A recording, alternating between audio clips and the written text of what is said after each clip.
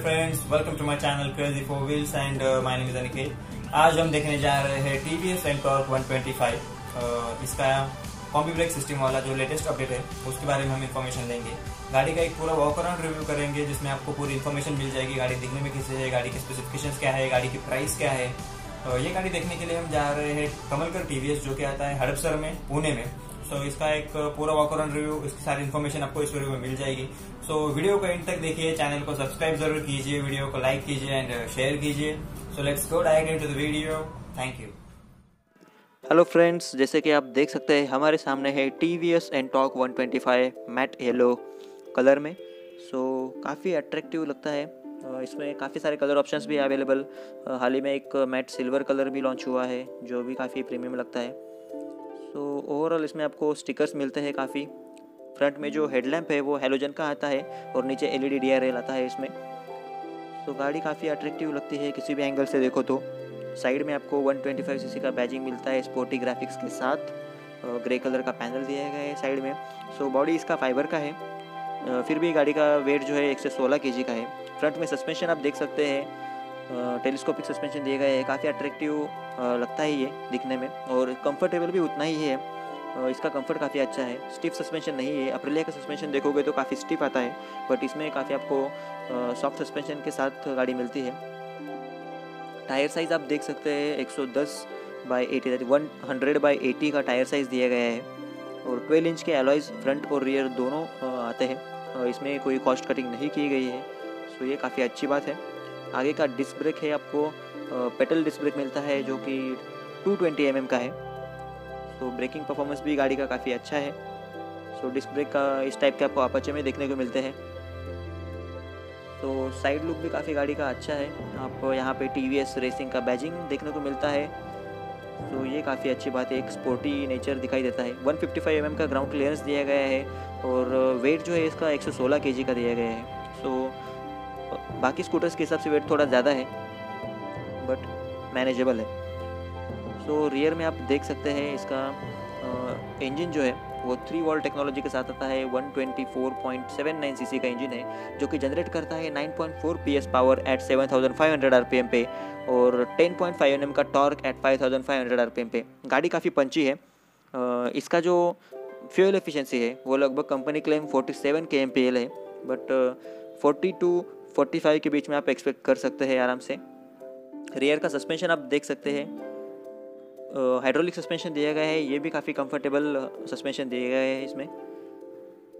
So overall rear का आप break देख सकते हैं ड्रम ब्रेक मिलता है आपको 130 थर्टी mm का। और मैंने आपको जिस तरह से बताया ब्रेकिंग परफॉर्मेंस भी इसका काफ़ी अच्छा है। रियर का जो टायर है वो भी काफ़ी ब्रॉड दिए गए हैं। One ten by eighty section दिए गए हैं इसमें विद ट्वेल्व इंच के एलॉयज़ सो एलॉयज़ का डिज़ाइन भी काफ़ी प्रीमियम लगता है इसमें। सो ओवरऑल गाड़ी किसी भी एंगल से देखी जाए तो गाड़ी काफ़ी प्रीमियम लगती है। So, रियर से एक बार आप लुक देख सकते हैं गाड़ी का। गाड़ी काफ़ी अट्रैक्टिव लगती है। एलईडी टेल लैंप्स आते हैं और इंडिकेटर्स में जो बल्ब्स आते हैं वो आपको नॉर्मल हेलो हेलोजन वाले बल्ब जो रहते हैं वो नॉर्मल वो मिलते हैं। सो गाड़ी के प्राइस के बारे में आपको बताना चाहता हूँ। गाड़ी का प्राइस है एक showroom sixty five thousand on road आपको लगभग seventy nine to eighty thousand मिल जाएगा। सो शोरूम में आपको नंबर दे दिया हूँ। वहाँ पे आप कॉल करके इंक्वायरी कर सकते हैं एग्जैक्ट प्राइस के लिए। सो यहाँ पे आपको काफ़ी अच्छा फिनिश मिलता है कार्बन फाइबर टाइप तो जो गाड़ी के लुक को काफ़ी एनहेंस कर देता है। आपको एग्जॉस्ट जो है, वो भी स्पोर्टी एग्जॉस्ट दिया गया है। सो एग्जॉस्ट के बारे में आपको एग्जॉस्ट साउंड है वो हम वीडियो के एंड में देखेंगे। सो so, रियर का जो फुटपैग है वो भी काफ़ी अट्रैक्टिव दिए गए हैं। एल्यूमिनियम का फुटपैग आता है जो कि काफ़ी प्रीमियम और स्टाइलिश लगता है।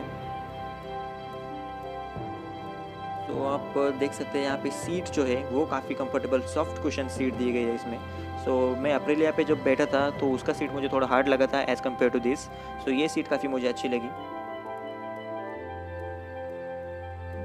ओवरऑल गाड़ी के लुक्स काफ़ी अच्छे हैं। आगे का जो फुटबोर्ड है, वो डिसेंट है, ज़्यादा भी नहीं कहूँगा क्योंकि सुजुकी बगमैन में इससे काफ़ी ज़्यादा स्पेस मिलती है आपको। आगे हुक मिलता है आपको और सीट के नीचे भी एक और हुक मिल जाता है यूटिलिटी के लिए। सो जो काफ़ी अच्छी बात है। सो यहाँ पे आपको चाबी निकल के पीछे एक आपको स्विच दिया गया है, उसमें चाबी इंसर्ट करने से आपको सीट और फ्यूल लीड ओपन करना होगा। सो यहाँ पे आप अंडर सीट जो इसका स्टोरेज है, वो देख सकते हैं। यहाँ पे आपको बूट लैंप मिल जाता है विद चार्जिंग सॉकेट ये काफ़ी अच्छा और कन्वीनियंट फीचर है आप नाइट के समय। इसका यूज़ आसानी से कर सकते हैं। और इसका जो अंडर सीट स्टोरेज है, वो 22 लीटर्स का दिया गया है लगभग, जो काफ़ी अच्छा है बाकी स्कूटर्स के हिसाब से। और इसमें लगभग एक मीडियम साइज़ का या छोटा सा एक फुल फेस हेलमेट आ जाएगा। हाफ़ फेस तो आराम से बैठ जाएगा इसमें। हाँ लेकिन बड़ा हेलमेट रहेगा तो थोड़ी दिक्कत आएगी। तो ओवरऑल काफ़ी प्रैक्टिकल है इसका बूट स्पेस भी। और इसका जो फ्यूल का लीड है, ये एक्सटर्नल दिया गया है, ये काफ़ी कन्वीनियंट है। पाँच लीटर का इसका फ्यूल टैंक है लगभग सिक्स लीटर होता तो काफ़ी अच्छा हो जाता रेंज बढ़ जाती गाड़ी की। एल्यूमिनियम के ग्रैब रेल्स है, वो भी काफ़ी अच्छे हैं।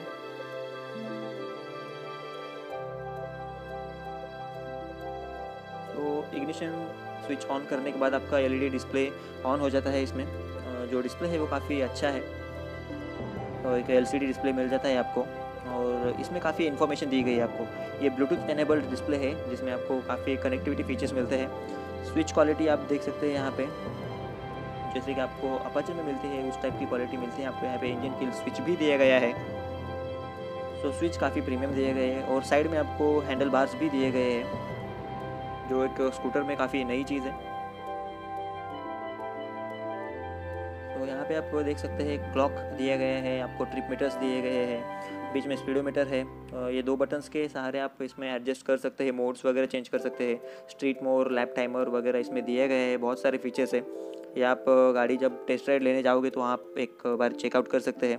सो गाड़ी काफ़ी अच्छी है, काफ़ी प्रीमियम फीचर्स के साथ आती है इसमें।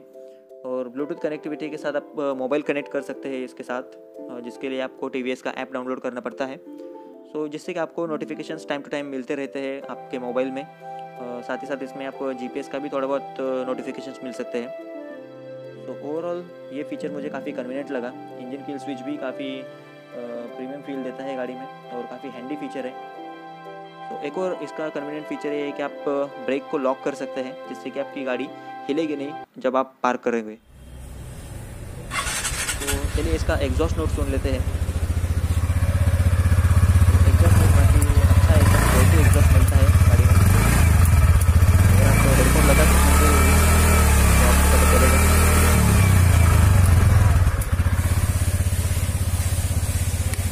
तो स्विच भी परफेक्टली काम करता है। तो काफ़ी अच्छा एग्जॉस्ट है इसका। इंजन थोड़ा स्मूथ है लेकिन थोड़ा बहुत वाइब्रेशन आपको रियर में मिल जाएँगे। सो ओवरऑल गाड़ी का रिव्यू मुझे गाड़ी काफ़ी अच्छी लगी है। आप बताएँ आपको गाड़ी कैसी लगी वीडियो कैसा लगा? सो so, आप कमेंट करके मुझे पूछ सकते हैं। That's it for today guys thank you